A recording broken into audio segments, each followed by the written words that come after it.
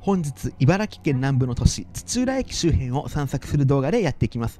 こう見ると結構都会感出てますよね。どんな街なのか楽しみです。ってことで土浦駅に到着しました。上野東京ライン常磐線で上野から約1時間ちょいでアクセスできるみたいです。結構近いですよね。自分土浦は昔一回駅ビルに用事があって降りたことがありますがその時は街のことをよくわからないまま終わりましたしかし今回初めて街歩きしたらなかなかというかかなり奥深くて衝撃的だったのでその様子も映していきますまず駅改札から出ると右側になりますが、プレイアトレという駅ビルのテナントがこんな感じで並んでます。なかなかおしゃれですよね。で、奥の突き当たりにはこちら、ベブ5という星野リゾートのホテルの入り口があります。奥に自転車が置いてありますよね。実は土浦は自転車と関係している街で、今のホテルは自転車旅を満喫できるホテルとの情報です。その自転車関連の話は後にしていきます。はい、それではまず土浦駅の外観を映していきます。先ほど伝えた駅ビル、プレイアトレと駅が直結してます。さらに奥にはまた立派な建物が建ってます。一体何でしょう？近くまで来て映しました。こちらはアルカス土浦という公共施設で市民ギャラリー交番銀行もあるみたいですがメインが図書館みたいです。何でも茨城では最大規模の図書館だとか。これは立地が良すぎますね。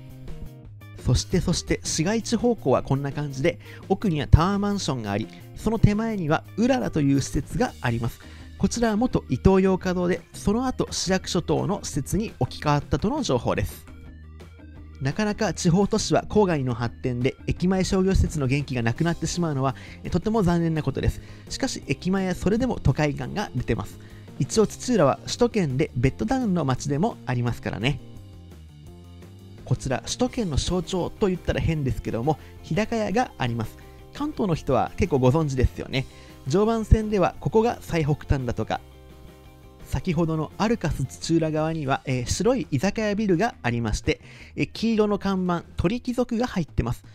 結構僕鳥貴族好きなんですよ。安くて食べ応えもあっていいですよね。わかる方いらっしゃいますか？こちらも常磐線で土浦が最北端みたいです。さあ、それでは土浦駅を背にしてカメラを左側に回して、まずはこちらの通りの様子から簡単に見ていこうと思います。こちら駅前にうららの別館がありまして、うらら3、うらら3、どっちで読むのかちょっとわからないんですが、別館のビルがあります。ライザップとか他、オフィスや学習塾が入ってるビルです。で、さらにこちら、うらら2、もしくはうらら2のビルが建ってます。こちらはオフィスビルもありますが、医療モールのビル、そんな感じのテナント構成になってました。このうらら、えー、規模が結構すごくて、駅前のうららからはペデストリアンデッキでつながってたり、うららにとは連絡橋もあったりします。なかなかの規模ですよね。単純ですが、土浦のこの部分を見て、結構都会だなと感じてしまいました。他、こちらの通り、左側沿いには、味わい深い飲み屋さんの通りが、えー、いくつか広がってたり、またこちらは別な通りですが、こんな面白そうな居酒屋さんとかもありました。土浦はこの後もなかなか奥深いスポットが多いので、その様子も映していきます。ぜひ最後までお楽しみに。こちらはちょうどうららの後ろ側あたりです。で、カメラを左側に回して、この先ちょっと奥に行くとネットでは北関東最大のそういう街があるみたいです。え気になったらぜひストリートビューとかで見てください。ちなみに、うららの後ろ側はこんな感じ。全体的に駅周辺は商業施設よりは飲み屋さん、個人のお店が多い。えそんな印象を受けます。で、ここで駅まで戻ってきましたが、えこれから土浦の凄さがわかるものを見せようと思います。動画の最初の方で土浦は自転車と関係してると伝えましたが、こちら、ル・サイクという自転車をレンタルできるお店があります。お隣にはリンリンスクエアという施設があり、えこちらの看板を見るとなんかシャワールームも完備されてるみたいですね。すごいですね。で、その地下には有料駐輪場もあれば、レンタルサイクリング用の自転車が置かれてて、駅前でこんな自転車自転車してる街ってね、なかなか見たことがありません。ほんと素晴らしいですよね。地上に自転車を運ぶときもこんな感じでコンベヤーが設置されてるんですよ。なかなかね、これはありそうでないです。こちら駅から近くにサイクリングロードが設置されてて、コースがいくつかあるみたいです。こんな感じの道で、で、これの規模がね、超すごいんですよ。なんと筑波山方面のコースとか、別なコースは霞ヶ浦っていう湖を走るコースがあり、全長約 180km とかね、これはね、もう奥深ポイントですよね。土浦は他にも奥深いポイントが詰まってますので、どんどん移していきます。で、今度は駅からこちらの通りを歩いて、その様子と見どころを移していきます。それにしても、うららという施設、大変立派です。土浦を象徴する建物といっても過言じゃないぐらいです。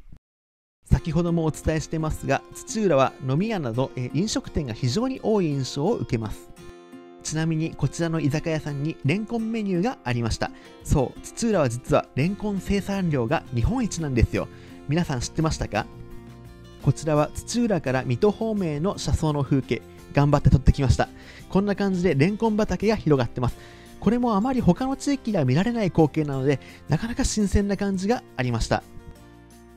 土浦なかなか奥が深いですよね。この通りをもう少し歩くとまた奥深いポイントがありますのでお楽しみに。今歩いてきた方向にカメラを向けてます。実は全泊しててこちらのホテルに泊まりました。コスパが良くてお風呂も大変素晴らしかったので一応移しておきました。でホテルからさらにまっすぐ歩くと何やら高架橋みたいなのがあります。登ってみるとこんな感じ。おおなんか都会的な感じが出てますね。こちらは土浦ニューウェイといって昔お隣の筑波で万博があった際土浦駅東口から筑波研究学園都市までを結ぶシャトルバスなどが通行する高架橋として開通したみたいです。ちょっとした首都高のような雰囲気が出てます。昔筑波万博の時僕はまだ生まれてなかったですがきっとすごい盛り上がったんでしょうね。はい土浦ニューウェイから下に降りまして今僕の背中側にはこちら。モール505昔はかなり活気のあったショッピングモールゾーンみたいです。こちらは最近では北野武監督の映画のロケ地でも使われたことがあるとか。今もテナントの入っている店もいくつかありますので、今後の盛り上がりに期待したいエリアかもしれません。では先ほど駅から歩いてきた通りをさらに奥に進むと少し落ち着いたエリアに入りましたがここから先なんと和のテイストがかなり強くなってきますその様子を映しながら簡単に土浦市の概要をお伝えします。茨城県土浦市は人口約14万人、県南部の都市です。東京都心への通勤・通学する方も多く、首都圏のベッドタウンとしての役割も持つ町です。また、駅すぐそばには日本で2番目に大きい湖、霞ヶ浦があります。他、生産量日本一のレンコンもお伝えしましたが、花火大会も大変有名で、日本三大花火大会の一つとの情報です。何でも毎年80万人の客が訪れるとかで、その際の賑わいは非常に活気が溢れてるかと思われます。ってことでなんかすごく和のテイストが強くなりましたね。まさか土浦にこんな場所があるのは正直予想外でした。で、この先の通りには城下町らしい通りがありました。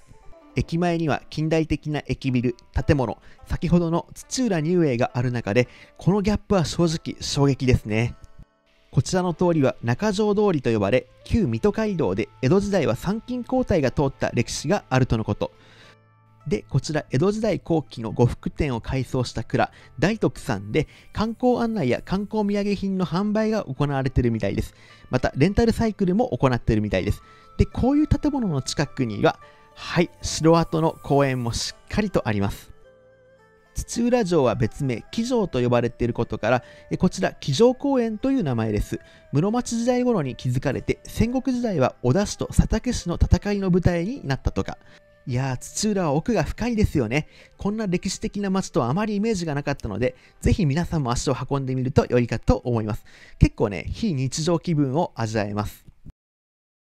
ちなみに土浦駅の東口、繁華街方面ではない方の出口側には霞ヶ浦があります。ちょっとその様子を映します。こちら霞ヶ浦、霞ヶ浦総合公園と駅から離れた場所での撮影をしました。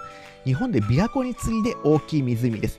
なんとこの霞ヶ浦を一周するサイクリングロードもあるみたいで長さ 140km とのこと。1日で走れるのかとは思いますが何時間かかるのかねちょっと気になりますよね。もしわかる方がいたらコメント欄で教えてください。こんな感じでしっかりサイクリングロードも映しておきました。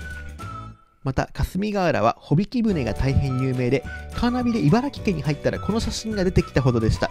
それくらいに茨城県を象徴するものなんですね。ちなみに千葉県は落花生で、埼玉県とかは何なんでしょうね。ちょっと分かる方がいたら教えてください。今映像を映した建物からの展望台の様子ですが大変眺めが良く気持ちいいです。で奥には筑波山が見えます。前回自分の動画つくば駅周辺の散策なのでえぜひ概要欄に URL 貼っとくのでよかったら見てください。あとこちらのエリアはえネットで夜の写真を見たらイルミネーションが大変綺麗でした。ということで以上土浦駅周辺を散策する動画でお送りしました。この動画が良かったと思ったらチャンネル登録高評価の方ぜひよろしくお願いします。ご視聴大変お疲れ様でした。